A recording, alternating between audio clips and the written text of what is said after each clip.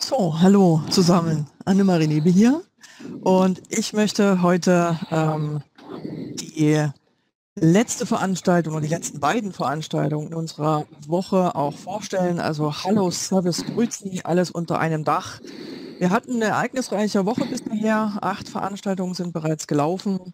Äh, heute noch zwei. Wir hatten insgesamt mehr als 15 Sprecher und mit euch tatsächlich, und das hat uns wahnsinnig überwältigt, mehr als 450 angemeldete Teilnehmer. Und auch heute wieder mit der Schriftdolmetschung von Delf Interpret. Dazu aber gleich vielleicht noch ein bisschen. Hier nochmal die Woche im Überblick. Heute mit dem Thema PDF-Barrierefreiheit meistern. Und wir haben zwei Dinge für euch mitgebracht. Zum einen äh, das Thema nachhaltige PDF-Barrierefreiheitsstrategie in einer Organisation umsetzen. Das hören wir von Markus Erle. Und zum Zweiten ein sehr praktisches äh, Thema, diesmal ein Tutorial barrierefreie PDF-Dokumente aus Adobe InDesign effizient umsetzen. Und bevor wir heute allerdings anfangen, möchte ich vielleicht einen kurzen Überblick geben, wer hat eigentlich diese Veranstaltung organisiert? Äh, wer gehört im Moment äh, sozusagen auch zum Gründungsteam vom IAP Dach? Und ähm, da habt ihr hier mal so einen so eine Überblick, wer da eigentlich dazugehört. Das sind äh, eine ganze Menge. Und wie ihr auch im Trailer schon gesehen habt, haben wir uns sehr, sehr bemüht, hier eine äh, gute Mischung äh, hinzubekommen zwischen ja, Wissenschaft, ähm, Privatwirtschaft, ähm, öffentliche Stelle ähm, und, und natürlich auch Hilfsgemeinschaften und Selbsthilfeverbänden. Und ähm, ich hoffe, das ist uns hier gut gelungen. Und man sieht das auch, glaube ich, in der Liste der Gründungsmitglieder, dass das doch ähm, hier in der ähm, Zusammensetzung ganz gut gelungen ist. Und ich hoffe, ähm, dass einige von euch, die hier auch im Call mit drin sind, ähm, dann vielleicht äh, jetzt Mut haben oder ähm, so ein bisschen Lust darauf gekriegt haben, auch Mitglied ähm, des IAP zu werden. Ähm, dazu muss man nur im, Internet, äh, im, im IAP International Mitglied werden, denn die Zuordnung zum IAP-Dach, die funktioniert ganz automatisch, ähm, wenn sozusagen die äh, Adresse, die angegeben wird, in einem der drei Länder liegt. Und ich möchte mich äh, heute im Voraus, aber auch für die restlichen vier Tage, die schon gelaufen sind, nochmal ganz, ganz herzlich bedanken bei unserer Schriftdolmetschung Delf Interpret und ähm, die Dolmetscherin Melanie, Joanna, Marie, Anja, Elisabeth und Daniela waren für, in dieser Woche ähm, für euch im Einsatz und sind es auch gerade wieder. Ich habe hier das Fenster mal offen. Hier sieht man also, das, was ich hier spreche, wird sofort ins Reine ähm, gedolmetscht und sogar meine Sprechfehler dabei ausgemerzt. Das ist aber ganz praktisch und positiv. So hat äh, sozusagen jemand, der die Schriftdolmetschung hier nutzt, ähm, sogar Vorteile. Und jetzt möchte ich ähm, zu der heutigen Veranstaltung weitergeben an Sabine, denn Sabine ist ähm, heute unsere Moderatorin und Sabine, dein, deine Bühne. Vielen Dank, Annemarie. Auch von mir ein herzliches Willkommen an alle. Ich denke, gerade in der Auswahl unserer Sprecher und Sprecherinnen heute repräsentieren wir sehr schön, was wir mit dem Dachverein oder dem Dachableger des IAB machen wollen, und zwar das Triumvirat der drei deutschsprachigen Länder zusammenbringen und gemeinsam an digitaler Barrierefreiheit arbeiten. Und da freut es mich wahnsinnig, dass ich gerade heute die Annemarie und den Markus im Team habe, weil wenn man sich mit Barrierefreiheit PDFs plagt, und wenn wir uns ehrlich sind, die meisten von uns plagen sich damit, dann kommt man und dann ein paar Recherchen anstellt, dann kommt man eigentlich gar nicht umhin, über, über diese Namen zu stolpern. Und zuerst fangen wir mal an mit Markus Erle.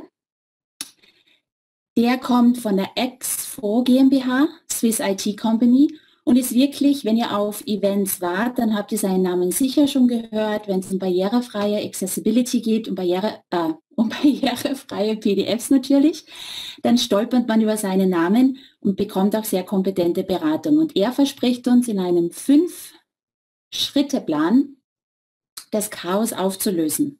Und mit diesen Worten würde ich gleich schon an Markus weitergeben. Ah, Entschuldigung, ein kleiner Punkt vorher noch. Während ihr Markus zuhört, wenn Fragen kommen, bitte gleich in die Chatbox geben. Das habe ich dann im Blick und füge das zu den bereits vorhandenen Fragen an Markus am Ende seines Vortrags hinzu. Vielen Dank und das Wort geht an Markus. Mhm, danke dir, Sabine. Dann starten wir gleich. Ihr müsstet jetzt meine Startfolie sehen, PDF Barrierefreiheit meistern. Herzlich willkommen auch nochmal von meiner Seite. So haben wir das Thema genannt. Und ich bitte ähm, Sabine oder Annemarie immer wieder, wenn neue Leute dazukommen, muss man immer wieder neu alle stumm schalten. Also der Redner, der bleibt drauf, aber alle anderen werden immer stumm geschaltet, weil manche merken das nicht, wenn sie sich neu dazuschalten. Also da immer bitte ein Auge drauf haben, dass das dann auch gut funktioniert. Und mein Thema heute ist nachhaltige PDF-Barrierefreiheitsstrategie in einer Organisation umsetzen, ein Fünf-Schritte-Plan zum entspannten Sicherstellen der Barrierefreiheit aller PDFs. Und die Betonung liegt auch wirklich entspannt. Ich werde nachher nochmal genauer das erklären und ebenso auf nachhaltig. Und ich muss mich hier jetzt outen. Ich weiß nicht, manche, die mich kennen, die wissen das schon. Ich bin kein ITler. Ich bin Philosoph. Manchmal merkt man das. Also ich bin einerseits Philosoph, habe das studiert, bin aber auch, bevor ich vor 20 Jahren zur digitalen Barrierefreiheit gekommen bin, war ich Unternehmensberater. Und beides führt dazu, dass ich gerne Grundsatzfragen stelle und das Ganze in den Blick hole. Und genauso ist es heute. Ich werde jetzt nicht hands-on, wie ich das sonst manchmal auch mache, an den Programmen arbeiten, sondern wir wollen das große Ganze in den Blick bekommen, weil wir wollen wirklich es nachhaltig machen. Es soll am Ende zumindest entspannt werden. Und ja, steigen wir gleich richtig ein. Nochmal, wer mir folgen möchte, twittern möchte oder sich vernetzen möchte, hier diese Links. Die Folien sind bereits auf unserer Webseite runterladbar. Im Chat war schon mehrmals der Link dann könnt ihr euch mit mir vernetzen oder schreiben und so weiter. Das nur kurz dazu. Das ist einer meiner Lieblingsbilder, wenn es um PDF-Barrierefreiheit geht. Und jeder, der mit PDF-Barrierefreiheit zu tun hat, weiß, oder nee, er weiß nicht, sondern er kann es aus tiefster Seele nachfühlen, was dieses Bild sagen möchte. Weil PDF-Barrierefreiheit wird ganz oft als Sisyphos-Arbeit empfunden. Ja, wir kennen ähm, die antike Geschichte Sisyphos, der immer einen Felsbrocken den Berg hochgerollt hat, der aber dann immer wieder runterrollte und er musste wieder von neuem am Fuße des Berges anfangen. Ich glaube, das können ganz viele nachempfinden dieses Gefühl, wie es ist, und es ist vielleicht ein bisschen so ein Alltagsgefühl in der PDF-Barrierefreiheit, dass man immer wieder von vorne anfangen muss und wieder diese schwere Felskugel nach oben schieben muss. Und dabei ist an für sich Barrierefreiheit und auch PDF-Barrierefreiheit gar kein Hexenwerk. Aber wenn wir ehrlich sind, dann ist es gar nicht so einfach, das in eine Organisation zu bringen guten Anfangspunkt zu finden und es wirklich nachhaltig umzusetzen. Also Barrierefreiheit kann denn ganz schön komplex werden. Es gibt viele Abhängigkeiten. Wenn ich an der einen Schraube drehe, fliegt mir hinten was um die Ohren. Jeder kennt es, der auch mit Web zu tun hat. Wenn ich an der, hier ein bisschen an den CSS-Einstellungen rumschraube, kann es sein, dass mir meine ganze Seite verhaut. Also es gibt viele Abhängigkeiten oder wenn ich ein Template sperre, dann stehen gleich äh, die halbe, steht gleich die halbe Belegschaft bei mir auf der Matte und beschwert sich, warum sie nicht mehr ihre Dokumente so gestalten dürfen, wie sie es immer die letzten 20 Jahre gemacht haben. Also das heißt, es kann schon eine ganz schöne komplexe Geschichte sein. Das ist übrigens auch mit guter Software ist es auch so. Man muss immer wieder alle möglichen Perspektiven durchdenken und davor scheuen sich sehr viele. Die fangen dann einfach mal an, irgendwo, vielleicht sogar an der steilsten Stelle, den Felsbrocken nach oben zu rollen und wundern sich, wenn sie nur ein Stück weit kommen, rollt wieder runter und dann müssen sie wieder von vorne anfangen. Also, schauen wir mal, wie, wie wir das lösen können, sodass wir nicht wie Sisyphos werden.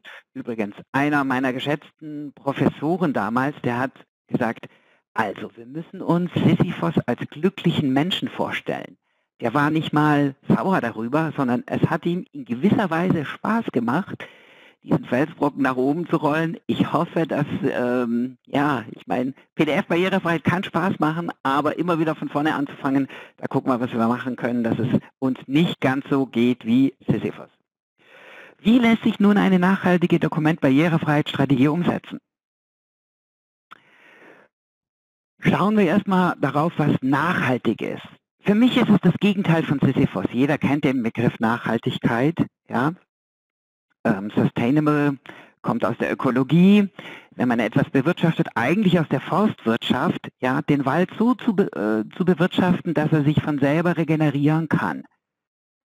Und das heißt, einfach ist es auf Dauer angelegt. Und genau das wollen wir letztendlich. Wir wollen ein System schaffen für die digitale Barrierefreiheit. Da ist PDF-Barrierefreiheit nur ein Beispiel unter vielen, sich letztendlich selber erhält und nicht immer wieder zerfällt und wir von vorne anfangen müssen. Und da gibt es einen Paradigmenwechsel, der ist ganz entscheidend. Und zwar war früher die Strategie, naja, ich hole mir ein paar Experten oder ich schule ein paar Experten bei mir in meiner Organisation. Das ist eine kleine Taskforce.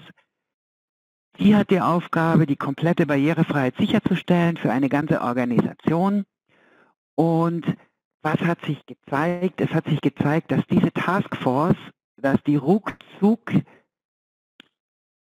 überarbeitet ist, dass sie ähm, überwältigt sind von all dem, was sie machen müssen, überfordert sind und dass es eine Strategie ist, die so nicht funktioniert hat, es alleine nur auf ein kleines Grüppchen innerhalb der Organisation abzuwälzen.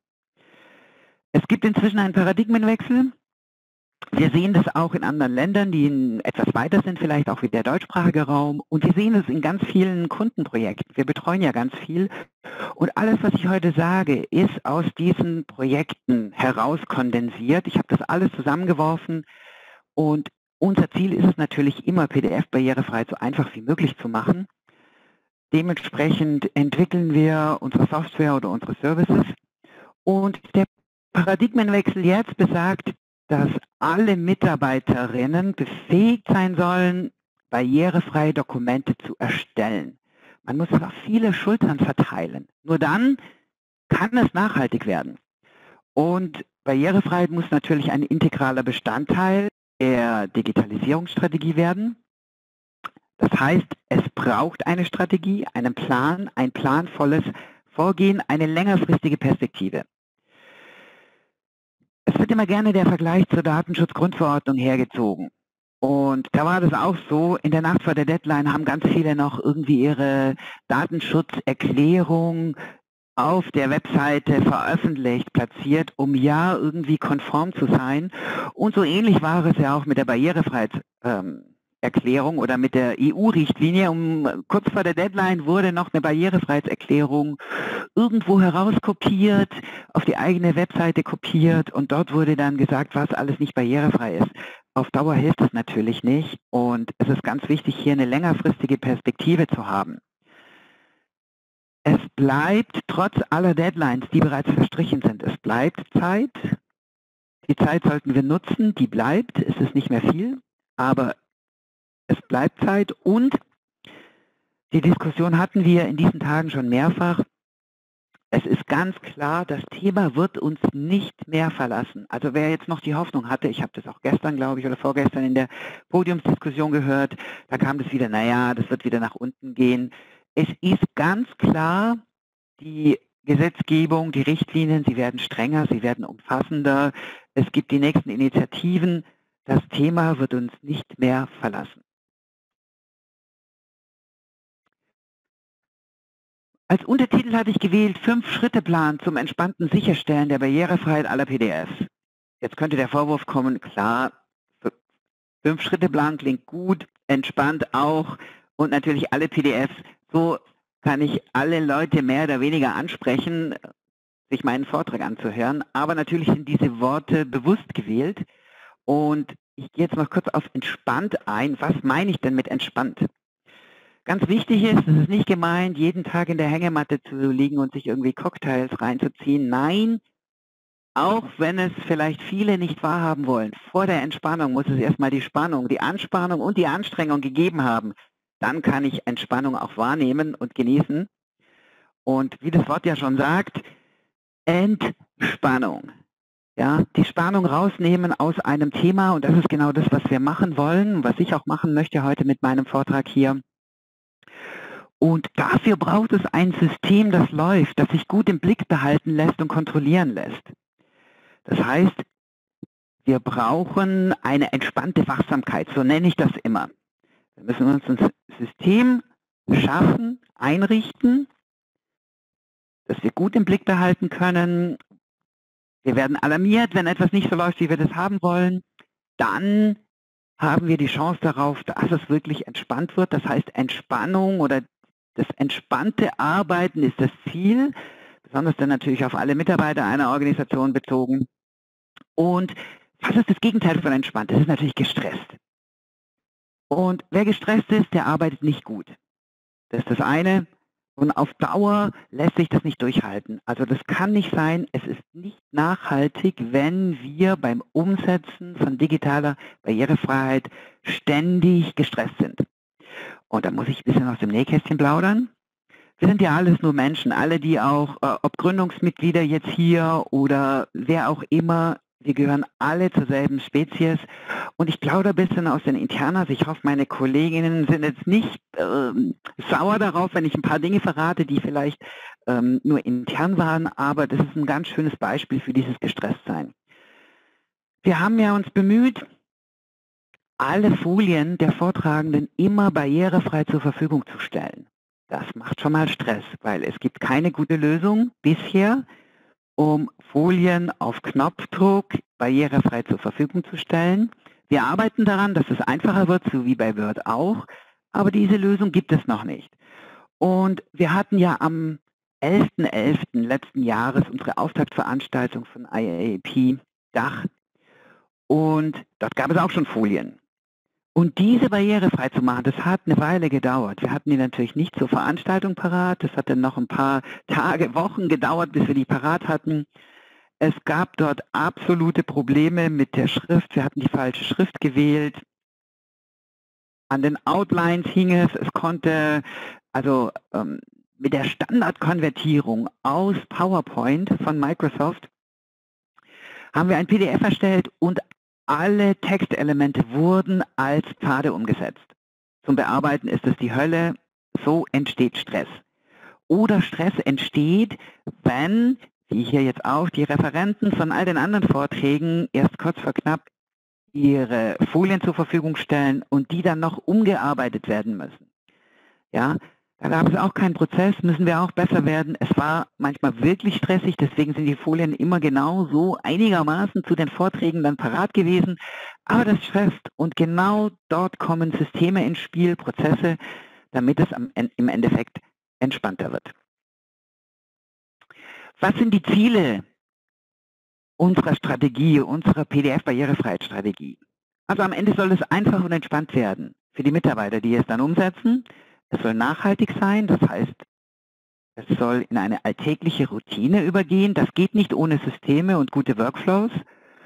Und, das hatte ich schon mit dem Paradigmenwechsel erwähnt, es ist bezogen auf alle Mitarbeiter und alle Dokumente. Es muss umfassend sein. Wir können keine Ausnahmen gelten lassen. Wir wollen ja alle Inhalte in digitaler, barrierefreier Form zur Verfügung stellen. Also einfach nachhaltig umfassend. Noch eine kurze Bemerkung. Natürlich, wenn ich über Systeme spreche, dann spreche ich immer auch über die richtigen Werkzeuge. Und jedes Werkzeug bekommt seinen Wert durch das Ziel, das man damit erreichen kann. Klingt jetzt ziemlich philosophisch, ich hatte euch ja vorgewarnt, ist mein Hintergrund. Jedes Werkzeug bekommt seinen Wert durch das Ziel, das man damit erreichen kann.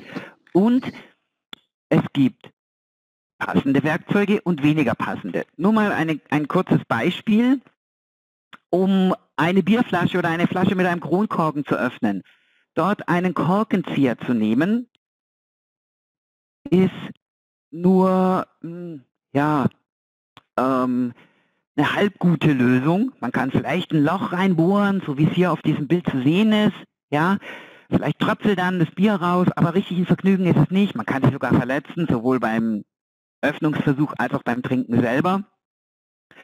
Und es kann sogar schmerzhaft werden. Man könnte auch eine Kronkorkenflasche versuchen mit den Zähnen zu öffnen. Ich beneide immer jeden, der das kann. Ich kann es nicht. Ich kann es weder mit einem Feuerzeug noch mit den Zähnen. Ich brauche immer das richtige Werkzeug dazu, also einen gescheiten Flaschenöffner.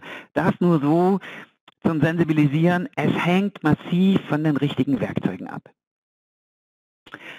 Kommen wir zu dem Fünf-Stufen-Plan werde schnell überblickt. Ich habe hier mal diese Punkte aufgeführt. Der sieht, es sind sechs Stufen. Das wird sich am Ende lösen. Die erste Stufe, da geht es darum, Überblick und Analyse, also eine Bestandsaufnahme zu machen. Zweite Stufe sind Quick Wins. Wir wollen schnelle Erfolge haben. Die helfen uns, die helfen allen, motiviert zu bleiben, ja, bei der Sache zu sein. Wir müssen darauf achten, dass wir sensibilisieren und kommunizieren. Dann die vierte Stufe, Systeme aufbauen. Ich sage immer Systeme, Systeme und Systeme. Das ist ganz zentral. Wir brauchen natürlich Schulungen und Unterstützung im Alltag, nicht nur eine Einmalschulung. Und am Ende fängt es wieder von vorne an. Das heißt, wir haben doch ein bisschen Sisyphos in diesem Fünf-Stufen-Plan, weil am Ende, deswegen ist es keine sechste Stufe, sondern die, die sechste ist wieder die erste, dass wir wieder die Bestandsaufnahme machen, alles im Blick behalten und wenn die Systeme gut laufen, dann müssen wir nur nachjustieren und dem Alarm nachgehen, wenn wir sehen, manche Dinge laufen nicht so gut, es kommen wieder nicht barrierefreie Dokumente aus unseren Systemen heraus, wo wir nachjustieren müssen. Schauen wir uns im Einzelnen an, was das bedeutet. Überblick und Analyse. Ich habe eines, ähm, ein Lieblingszitat aus meiner Unternehmensberatungszeit. Es ist ein bisschen umstritten, wer das gesagt hat. Es lautet auf Englisch im Original, you can't manage what you can't measure. Also du kannst nicht bewältigen, was du nicht messen kannst. Man könnte auch sagen, du kannst nicht optimieren, was du nicht messen kannst. Letztendlich geht es darum, Dinge, die man verändern möchte, die man zum Guten verändern möchte, dass man dort eine realistische Bestandsaufnahme braucht. Man muss die Probleme wahrnehmen, wie sie sind. Das ist die erste Stufe.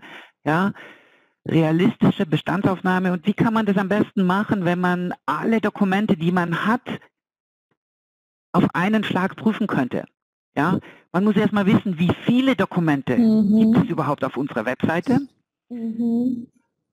Die typischen Metadaten, aus welchen Quellen stammen sie? Wann wurden sie erstellt? Das wird nachher noch wichtig, erkläre ich dann. Welchen Stand der Barrierefreiheit bilden sie ab? Ja, also wie barrierefrei sind sie? Und wir haben dafür eine eigene Kennzahl entwickelt für das Monitoring, also für die Bestandsaufnahme.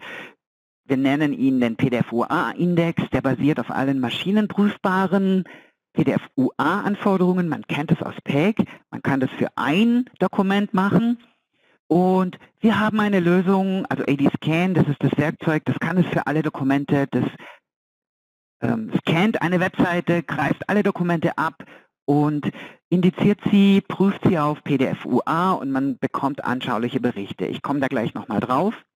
Was macht man mit diesen Berichten? Das ist jetzt nicht Selbstzweck und es ist zwar nett, so einen PDF-UA-Index zu haben, zum Beispiel für alle Dokumente. Der PDF-UA-Index ähm, Ziel ist es, 100 zu haben. 100 heißt, alle maschinenprüfbaren Anforderungen sind erfüllt. Das ist nur ein Anfang. Das ist nicht, also dort beginnt die Barrierefreiheit eigentlich erst. Und es kommen ja noch all die manuell prüfbaren Anforderungen mit da drauf. Wir arbeiten auch an, an Checks, die auf KI basiert sind, regelbasiert sind, algorithmenbasiert sind, um dieses manuelle Prüfen auch mit in, in diesen Scan, in diesen Überblick mit einfließen zu lassen. Da wird es Dinge geben, die das erleichtern, aber es sind Werkzeuge, ja. Die Werkzeuge ersetzen das nicht, sie helfen auf dem Weg. Und gute Werkzeuge helfen natürlich ganz massiv und besonders, dass es schneller geht und einfacher geht und entspannter geht. Was macht man mit den Ergebnissen? Ja, wir haben gesehen, also die Metadaten werden erfasst, wann wurde ein Dokument erstellt. Und da greift es zum Beispiel schon die erste Kategorie. Wir sortieren und priorisieren alle unsere Dokumente. Legacy-Dokumente, damit meint man Dokumente, die man noch vorhalten muss, alte Dokumente, die man vorhalten muss, für die man auch einen Mechanismus anbieten muss, damit die barrierefrei genutzt werden können, die immer noch relevant sind, relevante Verwaltungsprozesse heißt es ja so schön. Wir sortieren in Dokumente mit gleichbleibendem Aufbau, Struktur, Layout, also ähnliche Dokumente, ähm, nach Quellformaten, nach Komplexität, Häufigkeit der Erstellung, Seitenumfang. Also das sind jetzt nur mal so Beispiele. Es könnte noch mehr Sachen geben, vielleicht auch die, wie oft wird ein Dokument abgerufen. Ja, all diese Zusatzinformationen helfen zu sortieren und zu priorisieren. Und ich werfe mal einen Blick hier drauf, nur damit man mal einen Überblick bekommt, ein erstes Gefühl bekommt. Ähm, es ist jetzt ein, ein, einzigartiges Tool, deswegen da verrate ich jetzt nichts Besonderes oder ähm, AD-Scan ist das einzige Tool, das wirklich auf PDF-UA prüfen kann. Es gibt es mit einer deutschen Benutzeroberfläche, sind alles Sachen, gibt kein vergleichbares Tool, das das abbilden kann. Und das hier ist quasi das Entscheider-Dashboard. Man sieht, wie viele PDFs insgesamt habe ich, wie viele haben keine Tags, wie viele sind konform. Ich sehe hier den PDF-UA-Index unter diesem Donut. Hier zum Beispiel eine Seite, die nur 86,69 ähm, diesen Wert erreicht als PDF-UA-Index. Das ist ziemlich schlecht. Ja, nicht, dass man denkt, oh, ist ja nahe an 100. Nein, mit 100, da würde ja erstmal ähm, nur die technische Barrierefreiheit erfüllt werden. Da fängt das an. Und das heißt, 86,69 ähm, ist schon ziemlich schlecht. Man sieht, man hat hier die Scan-Verlaufe, hier, das war jetzt im Dezember letzten Jahres, wurde das durchgeführt. Man kann sich dann die Liste der Dokumente anzeigen lassen. Die, Liste, also die Dokumente sind hier jetzt verpixelt, dass man es nicht sieht. Also ja, ich wollte da jetzt niemanden an den Pranger stellen, keiner unserer Kunden. Es geht ja einfach nur darum, dass man das Prinzip versteht. Und hier sieht man schon mal, man kriegt hier in dieser Tabelle, bekommt man schon mal die, ähm, die einzelnen Prüfpunkte, wie viele sind bestanden, wie viele Warnungen, wie groß ist die Datei, wann wurde die zuletzt geändert. Man kann danach sortieren und man hat auch die Möglichkeit, eine Aktion auszuwählen. Ich könnte jetzt zum Beispiel schon mal danach sortieren, welche sind gar nicht getaggt. Nach denen kann ich sortieren die wähle ich aus und dann sage ich zum Beispiel an AbleDocs, an Access4 senden oder an das interne äh, Barrierefreiheitsteam senden, dass sie die barrierefrei machen sollen. Ich kann mir die Dokumente herunterladen oder ich kann mir auch den ganzen Report als CSV exportieren. Ich habe dann auch die Möglichkeit, noch in ein einzelnes Dokument hineinzugehen, äh, äh wenn ich bei der Liste bin. Und Dort ist es so ähnlich, wie man es von Tag schon kennt. Ich habe eine summarische Ansicht aller Fehler. Ich kann dort aufklappen bis auf den einzelnen Fehler, kann ihn anklicken und in der Dokumentansicht wird mir das jeweilige Element hervorgehoben. Also das nur als eines der möglichen Werkzeuge. Im Moment ist es wirklich das einzige, das diesen Überblick überhaupt bietet, das PDF prüfen kann, das PDF auf PDF-UA prüfen kann. Und es ist ganz zentral, wir, Sie werden nachher nochmal sehen, das ist ja auch der Schritt 6, dass wir auch für das regelmäßige Monitoring, ja, sei es monatlich, sei es jedes Vierteljahr, müssen wir gucken, wie waren die Fortschritte, sind wir besser geworden. Wir müssen es messen können, sonst können wir es nicht steuern. Gut, schauen wir auf Quick-Wins. Was wären Quick-Wins? Die Quick-Wins, also das ist auch so ein Begriff aus meiner Beratertätigkeit. Quick-Wins waren immer solche schnellen Erfolge, um das Team und die Kunden bei Laune zu halten, ja, um quasi den langen Atem ähm, strecken zu können, ja, dass die Leute wirklich durchhalten auf dem langen Weg. Und wir wissen alle, Digitale Barrierefreiheit, das ist ein langer Weg. Das ist nicht etwas, was man sofort irgendwie innerhalb kürzester Zeit ähm, umsetzen kann, realisieren kann. Und deswegen ist es wichtig hier auch Quick-Wins zu identifizieren und die umzusetzen. Und die Quick-Wins hängen eng damit zusammen, wie wir sortiert haben, wie wir priorisiert haben. Also hier kommt es wieder ins Spiel. Ähm, ich werde gleich mal ähm, auf ein paar mögliche Quick-Wins eingehen, zum Beispiel bei den Legacy-Dokumenten, bei Dokumenten, die jetzt aus Word kommen. Und man sieht hier, wenn ich jetzt ähm, auf Legacy-Dokumente eingehe, in der Verordnung steht, also was sind typischerweise Legacy-Dokumente? In der Regel sind, ist die Erstellung älter als zwei Jahre, die aber immer noch relevant sind. Ja, und ähm, wir haben dann auch eine Lösung. Wir nennen, nennen es dementsprechend AD Legacy. Äh, es basiert auf AD Scan. Man muss natürlich die ganzen Dokumente scannen. Es kommt ein barrierefreier Button in alle nicht barrierefreien Dokumente. On Demand kann ein Nutzer, der dieses Dokument aufruft, also dieser Button ist absolut screenreader tauglich. Er kann die barrierefreie Form des Dokumentes anfordern er bekommt es in der Regel zwischen ein bis drei Tagen, also so maximal bis 100 Seiten. Bekommt es der Endkunde, der Nutzer, der es angefordert hat, aber auch die Organisation kann es auf ihrer Seite austauschen, sodass der nächste Nutzer schon die barrierefreie Form zur Verfügung hat. Und das ist so ein Backup-Mechanismus, ja, der genau die, die Forderungen der Richtlinie abbildet. Man kann das für alle nicht barrierefreien Dokumente machen und ähm, es ist dann nur so, dass man natürlich hier einen Quick-Win hat, weil man muss erstmal nichts machen. Es geht völlig automatisch. Ja, man, ähm, das Einzige, was man machen muss, man macht diesen einmaligen Scan, lässt diesen Button ähm, in die Dokumente integrieren und dann hat man schon diesen Mechanismus. Also lässt sich sehr schnell umsetzen. Die Kosten sind entsprechend gering, weil es nur um eine Bereitstellungsgebühr geht und man bezahlt nur die tatsächlich angeforderten Dokumente von Nutzern, die als barrierefreie Dokumente angefordert wurden und umgesetzt wurden. Also ein möglicher Quick-Win. Ein zweiter Quick-Win, ups, bin ich hier zu schnell vorangegangen. Ein zweiter Quick-Win, da komme ich dann nachher noch dazu, wäre beispielsweise, ähm, ich habe das separat aufgeführt bei den Systemen. Wir haben auch eine Add-in Access PDF for Word, das aus einem Word-Dokument auf Knopfdruck ein PDF-UA-Dokument erstellt und es liefert das bestmögliche Ergebnis, auch wenn die Word-Dokumente nicht optimal vorbereitet sind. Das heißt, man wird hier auch schon mit einigermaßen, ähm, ja, wenn, wenn ein Word-Dokument zumindest mit den mit einfacheren oder mit Word-Dokumenten, die jetzt schon in einem guten Zustand sind, wird man hier schon sehr gute Ergebnisse bekommen. Auch mit relativ wenig Aufwand. Auch eines der Quick-Wins. Und die andere Geschichte, ähm, wäre, dass man gemäß der Priorisierung, dass man zum Beispiel sagt, naja, wir haben hier diese zehn Dokumente von unserem Scan, die konnten wir identifizieren, die werden am meisten nachgefragt, die sind relevant für Menschen mit Behinderungen, die sind zwar umfassend, die sind komplex, die können wir nicht selber machen, die schicken wir an einen Service, der die uns barrierefrei macht und dann haben wir schon den, den ganzen Altbestand abgedeckt. Wir haben einen Fallback-Mechanismus.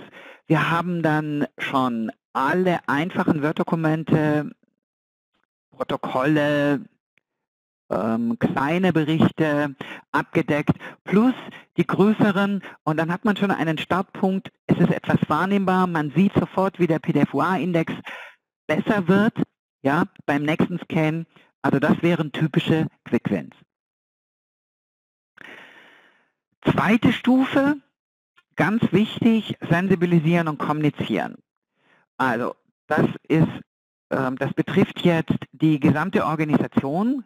Auch ein typischer Fehler, der gemacht wird. Es wird ähm, nicht erklärt, was ist eigentlich digitale Barrierefreiheit. Es ist wichtig, man muss es von oberster Stelle stützen. Es betrifft und nützt konkreten Menschen und dies erlebbar machen. Es geht ganz viel darum, wirklich sichtbar machen, erlebbar machen, wahrnehmbar machen. Und die Menschen sind unterschiedlich. Also nicht alle ticken so, dass sie sagen, ah ja, ich sehe das ein, hier, wir haben hier Menschen mit Behinderungen, die brauchen das, deswegen mache ich das jetzt. Andere ticken eher so, dass sie, dass es eine Anforderung sein muss, die Pflicht ist. Deswegen ruhig das mitkommunizieren. Es ist ganz klar, weltweit ist es wirklich so, dort wo ähm, also die Länder mit der härtesten Gesetzgebung Kanada beispielsweise. Ähm, dort ist der Markt am größten, dort wird am meisten umgesetzt. Also deswegen, manche ticken dann so, deswegen das auch kommunizieren. Es ist wichtig, es nützt, es ist Pflicht. Und das Prinzip ist so nicht einmal machen, sondern stetig und konkurrent. Das ist dann die Schwierigkeit, dass man dieses Thema wirklich ähm, hochhält, dass es einfach ja, mit hineinfließt in, in die übliche Kommunikation.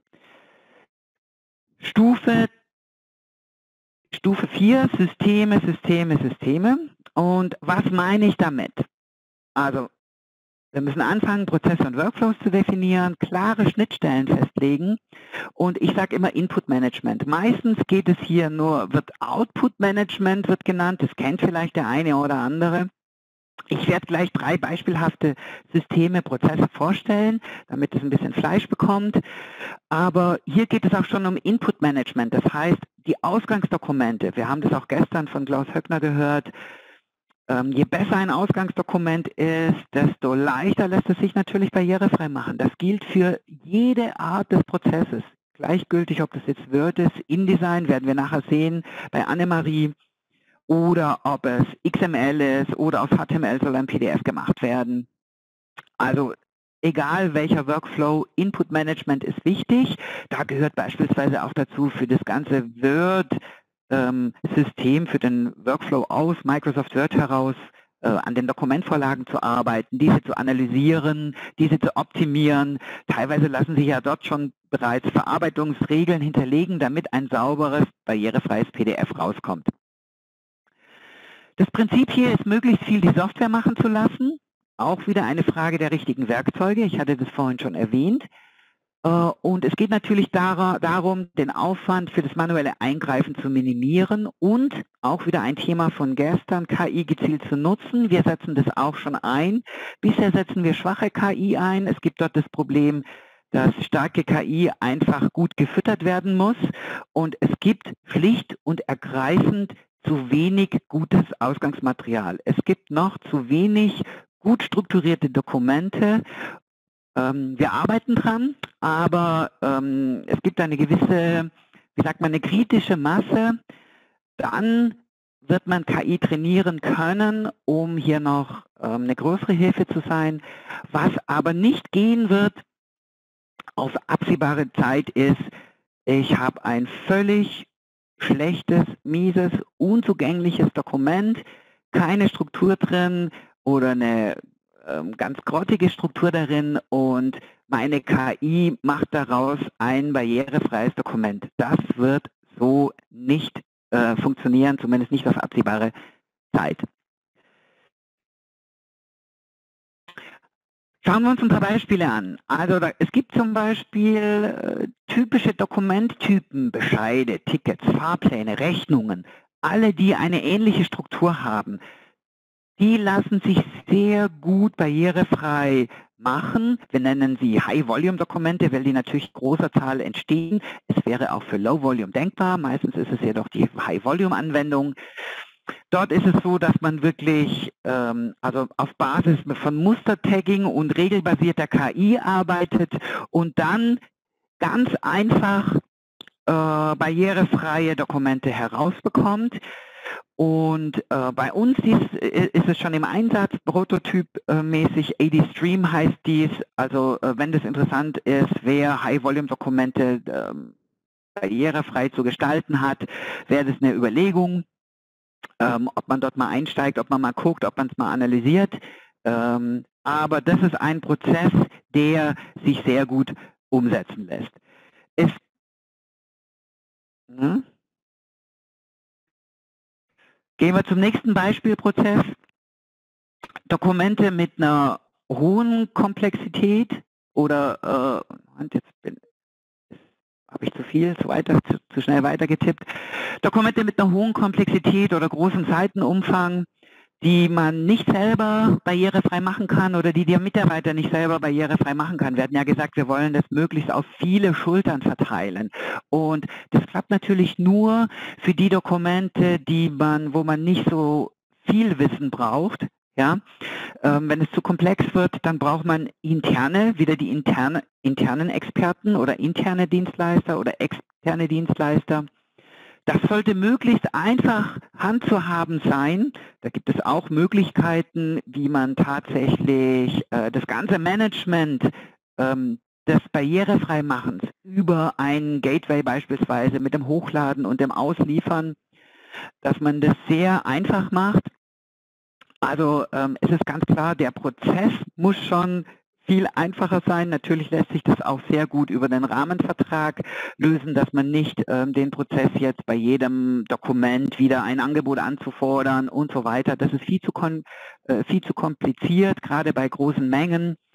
Und äh, also da gibt es auch Möglichkeiten, das möglichst einfach und entspannt für die Mitarbeiter umzusetzen. Und das, was ich vorhin schon erwähnt habe, äh, wenn wir Word-Dokumente haben, das Word-System, der Workflow für Microsoft Word, das ist einer der Workflows, wenn es um Dokumente geht, der gerade am besten funktioniert mit dem Workflow aus InDesign heraus, auch was wir nachher noch sehen werden von der Annemarie. Und dort ist es, ist das Geheimnis, einfach vorbereitete Dokumentvorlagen zu haben. Ähm, bei unserer Software ist es so, dass wir die Komplexität verstecken das heißt, ähm, es gibt nur ganz wenige Buttons dort drin. Es geht einfach darum, Word sinnvoll zu benutzen, mit Formatvorlagen, die zu verwenden. Wir speichern Verarbeitungsregeln an den Formatvorlagen und der Nutzer setzt einfach die Formatvorlagen ein, ähm, haut seinen Inhalt in Word hinein benutzt Access PDF for Word und kann dann aus jedem Dokument, das er selbst erstellt hat, auch selber ein barrierefreies PDF machen. Wir sagen dazu selber fahren. Die Vorteile sind natürlich so, dass ein Minimum an Barrierefreiheit mitgedacht wird. Also die Struktur des Dokumentes, alles ist unter eigener Kontrolle. Es geht besonders schnell, kein Zeitverlust. Ja, man muss es nicht irgendwo hinschicken. Und natürlich ist es mittel- und langfristig der geringste Aufwand, wenn denn das ganze Erstellen in den Alltag übergeht und die ganze Qualitätssicherung, die geht sehr schnell, weil die Software einem alles abnimmt und keine Nacharbeit am PDF erforderlich ist. Wann lohnt sich das, wirklich selber zu fahren? Es ist ganz, ganz klar, die Häufigkeit der Erstellung ähm, ist da ein, ein, Faktor mit den richtigen Werkzeugen und es muss, müssen natürlich die erforderlichen Ressourcen ähm, zur Verfügung stehen. Bezieht sich hier jetzt wirklich auf die Werkzeuge, ähm, dass man sagt, naja, ähm, aus, egal was, Sie, ähm, was ihr hört, äh, viele Barrierefreiheitsexperten sagen immer noch, naja, aus Word heraus kann ich auch barrierefreie Dokumente erstellen. Ähm, das hängt von der Definition ab, was man unter Barrierefreiheit versteht. Man bekommt aus Word nie, in keinem Fall ein PDF-OA-konformes, auch kein BITV-konformes, kein WCAG-konformes PDF heraus, sondern dazu braucht es immer die richtigen Werkzeuge. Und ähm, ich habe hier mal so ein Beispiel gezeigt, also kurz einen Screenshot reingehauen, um einfach aufzeigen zu können, dass, ähm, ja, wie wir das versuchen, die Komplexität zu verstecken. Das heißt, man arbeitet in Word vor, geht auf den Knopf PDF exportieren. Man hat hier nochmal die Kontrolle, Stimmt mein Dokumenttitel? Stimmt meine Hauptsprache des Dokumentes? Ich habe hier die Möglichkeit, PDF-A noch zusätzlich zu er erstellen. Ich erstelle das Dokument und dann bekomme ich im Fortschrittsbalken, sehe ich dann, dass die KI im Hintergrund arbeitet, ähm, regelbasiert. Wir analysieren die Dokumentstruktur. Deswegen, das ist nicht einfach nur eine Konvertierung eines PDFs, sondern es ist eine, wir sagen immer, eine semiautomatische Erstellung eines barrierefreien PDFs, weil wir versuchen, die Dokumentstruktur des Word-Dokumentes ähm, zu erarbeiten, zu analysieren und dann dementsprechend ein sehr gutes barrierefreies PDF zu erstellen, das PDF-OA-konform ist und die Qualitätssicherung sollte dann so aussehen, hier zum Beispiel jetzt im Tag, wenn man es manuell prüft, dass es lauter grüne Haken bekommt. Dieses Dokument hätte jetzt einen PDF-OA-Index von 100 und würde natürlich auch wieder ähm, unseren Gesamtindex nach oben bringen. Unser fünfter Punkt, der fünfte Schritt, trainieren und unterstützen, der kommt relativ weit hinten. Und was hier das Geheimnis ist, eigentlich weiß man ja, Schulungsbedarf, wird ganz oft erzählt, ja, man muss alles trainieren und schulen. Das Wichtige an diesem Fünf-Stufen-Plan ist, greifen Sie sich nicht nur ein Element raus. Also es bringt nichts, mit einer Schulung anzufangen. Sie haben die Systeme gar nicht, Sie können es nicht kontrollieren, dann ist es für die Katz, weil das verpufft. Ja, der Mensch vergisst so viel ähm, des Wissens, was er in einer Schulung bekommen hat. Das ist der eine Faktor. Und deswegen unsere Erfahrung ist, fangen Sie also natürlich mit den anderen Stufen an, deswegen ist das hier die fünfte Stufe, und fangen Sie mit einem Praxisbasiswissen an. Wir nennen das immer gerne das Seepferdchen der PDF-Barrierefreiheit. Da braucht es nicht viel, Sie müssen einfach nur schwimmen können. Das meiste davon vom Seepferdchen ist eigentlich Wordwissen. Und das, dieses Praxisbasiswissen, das genügt in vielen Fällen schon. Ja? Was wichtig wäre, ist, dass Sie Ihre Mitarbeiter unterstützen mit einer Knowledge Base oder mit Plattformen zum Selbstlernen, dass man nachschlagen kann, dass man sein Wissen dort erweitern kann. Und, und hier kommt jetzt wieder die Rolle dieser Taskforces mit rein, der Barrierefreiheitspolizei, die es ja schon in vielen Organisationen gibt. Die haben eine wichtige Rolle, die Digital Accessibility Experts, die Experten vor Ort. Die sind nämlich Ansprechpartner und Unterstützer und die koordinieren das und ähm, die erweitern diese Knowledge Base. Die stehen den Mitarbeitern bei oder übernehmen interne Aufgaben für komplexe Probleme, die sich im Alltag sonst nicht lösen lassen. Denkbar wäre auch On-Demand-Coaching bei Problemen, ähm, die dann das eigene Wissen, ähm, ja, die das eigene Wissen über, übersteigen. Und hier auch wieder ähnlich, es gibt eine Parallele zur Kommunikation, zum Sensibilisieren. Es genügt nicht das Einmalige. Lieber, also statt einer dreitägigen ähm, Schulung, die am Anfang steht, machen Sie nur halben Tag Praxisbasiswissen, haben das richtige System und Sie geben Unterstützung im Alltag. Das hat sich bewährt. Also das ist hier viel wichtiger, als ähm, so viel am Anfang zu schulen. Dann kommen wir zum Abschluss wieder hier die sechste Stufe, regelmäßiges Monitoring, den UA-Index im Auge behalten. Der Kreis schließt sich, Sisyphos in gewisser Weise wieder von vorne anfangen, aber Sie sind ja auf einem viel höheren Niveau, weil Sie können jetzt die Fortschritte prüfen. Sie sehen die Erfolge, Sie können Optimierungspotenzial identifizieren und Sie haben auch die Möglichkeit, noch weitere individuelle Kennzahlen heranzuziehen. Was wären jetzt die nächsten Schritte für Sie? Ich habe einfach dann nochmal die Schritte zusammengefasst, hier so als Fazit meines Vortrags, die fünf Schritte.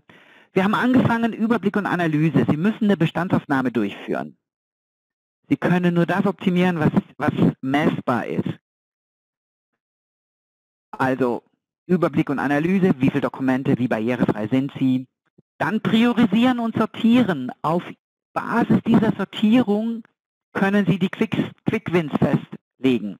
Für ganz viele wird es natürlich die AD Legacy Dokumente sein, also die, ähm, die Rechtssicherheit für ältere Dokumente, wie es ja auch vorgeschrieben ist. Es kann aber auch sein, dass Sie schon einfache Word-Dokumente äh, mit Quick-Wins Quick barrierefrei zur Verfügung stellen können oder auf Basis der Priorisierung entscheiden Sie, welche Dokumente Sie barrierefrei machen, intern oder extern. Sie sensibilisieren und kommunizieren, ganz wichtig, digitale Barrierefreiheit erlebbar machen. Ähm, ich bin ja auch engagiert in dem AK Barrierefrei der German Usability Professionals, der, der German UPA. Wir haben dort ein Format, das sehr gut immer ankommt, Blind Date, erlebe extreme Nutzergruppen. Und das ist sehr spannend, um einfach mal mitzubekommen, wie Menschen mit Behinderung, mit digitalen Dokumenten umgehen. Das sind immer Aha-Erlebnisse. Und es ist ganz wichtig, bleiben Sie bei den Kernbotschaften.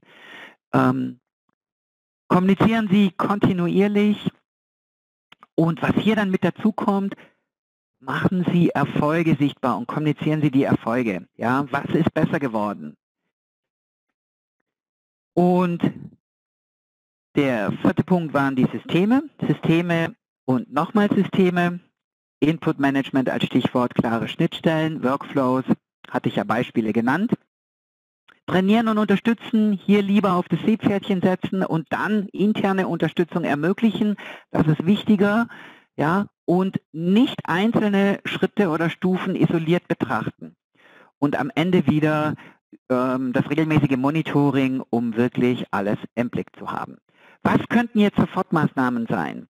Das werde ich immer gefragt und das heißt, ähm, das möchte ich Ihnen gerne mitgeben. Gehen Sie mal, ähm, nehmen Sie ein paar PDFs bei, äh, bei Ihnen raus. Es gibt den Minutentest, der Link ist auch in den Folien mit drin. Da können Sie einen schnellen Test machen. Ja, und wenn Sie dann sagen, oh, hm, ja, insgesamt, also meistens ist es so, Barrierefreiheit passiert nicht zufällig, sondern da muss wirklich eine Absicht dahinter sein damit wir das erzielen können. Dann überlegen Sie sich, ob Sie ein Monitoring durchführen, ein einmaliges oder ein regelmäßiges. Hier auch ein Link, wo Sie mehr zu dieser Möglichkeit finden. Und probieren Sie Access PDF for Word aus. Es gibt eine kostenlose Demo-Version. Nehmen Sie mal Ihre Word-Dokumente, schicken Sie sie durch, prüfen Sie dann mit PAC, wie gut ist es schon oder brauchen wir ähm, optimierte Word-Dokumente und Vorlagen das können Sie sehr leicht feststellen, indem Sie so einen ersten Check machen. Genau.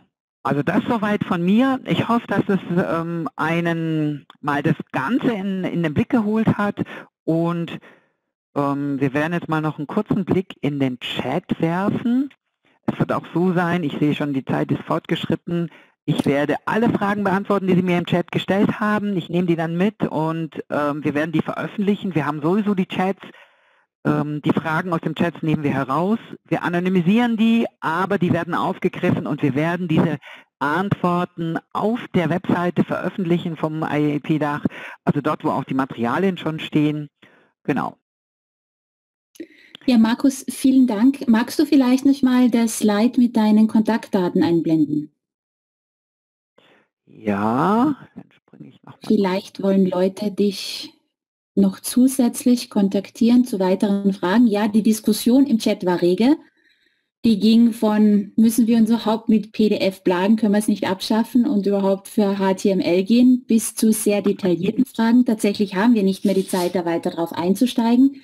Oh, Sabine, vielleicht, vielleicht nur, nur ganz kurz, weil das ist, das ist eine sehr gute Frage mit dem PDF und es gibt ja teilweise, also in Großbritannien gibt es das von oberster Stelle, dass sie PDF bannen wollen. Es gibt immer wieder die, die, die Diskussion. Hier nur eine ganz kurze Antwort. PDF kann ebenso barrierefrei sein wie HTML. Also jeder, der das ausprobiert hat mit dem Screenreader komplett, die Tastaturkürzel sind die gleichen. Das ist nicht die Frage. Also das ist die eine Antwort.